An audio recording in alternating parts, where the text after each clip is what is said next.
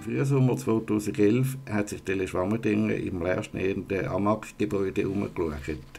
Hat die Stadt ihre Zielsetzung erreicht, in der neuen Werkerei Unternehmen mit günstigem Mietzins zu unterstützen?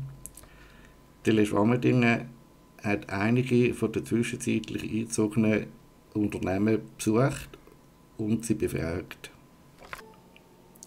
Zum Beispiel die Firma Palmisano Baia Partner Engineering. Jetzt miteinander könntet ihr euch mal kurz vorstellen, wer sich hinter diesen drei Buchstaben äh, versteckt und was ihr da genau macht in der Werkerei. Gut. Als Firma heißt PBP. Wir sind ein Elektroingenieurbüro.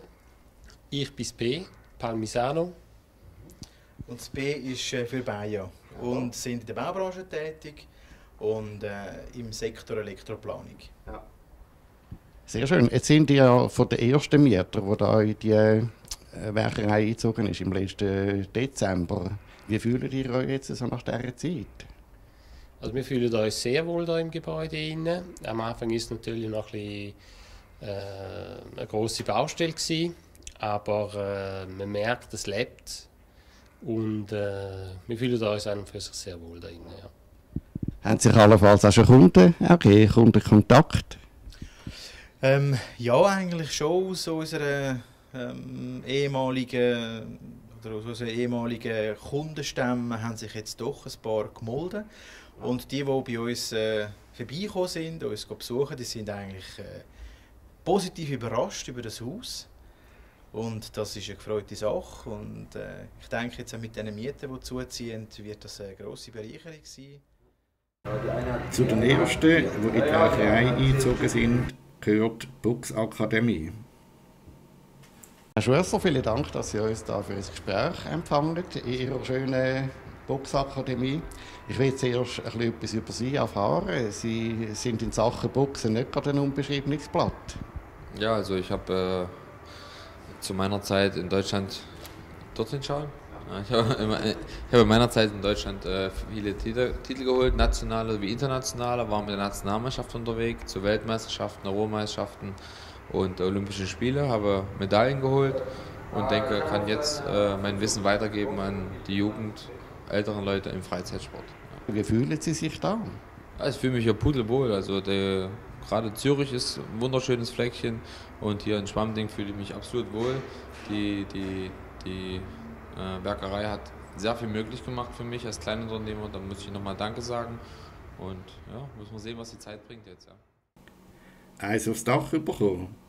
Auch Dachspezialisten haben ihren Stützpunkt an der Überlandstraße 105. Willkommen in der Werkerei. Können Sie uns kurz sagen, was Sie hier im Sinn haben? Also wir sind ein Bedachung- und Spenglereiunternehmen, äh, sind jetzt seit dem letzten Jahr circa, also seit einem Jahr jetzt am Markt tätig. Wir sind wirklich ein Jungunternehmen und versuchen uns da auch weiterzuentwickeln. Und eben deswegen haben wir jetzt hier den Standort gewählt. Ist wirklich ein super Standort, auch von den Anbindungen her und äh, sicherlich auch von den anderen Mietern her sehr interessant. Haben Sie noch einen Wunsch für Ihr Geschäft hier in der Werkerei? Einfach, dass es so gut weiterläuft, wie es bis jetzt gelaufen ist und äh, ja, dass man einfach eine gute Stadt findet an Schwammerding. Der Hannes Schmid, bekannter Fotokünstler, bereitet seine Ausstellung für das Jahr 2013 in Bern vor. Herr Schmid, Sie sind Fotokünstler und in dieser Funktion auf der ganzen Welt herumgekommen. Sie haben unter anderem Marlboro-Kampagne fotografiert. Was machen Sie jetzt da in der Werkerei?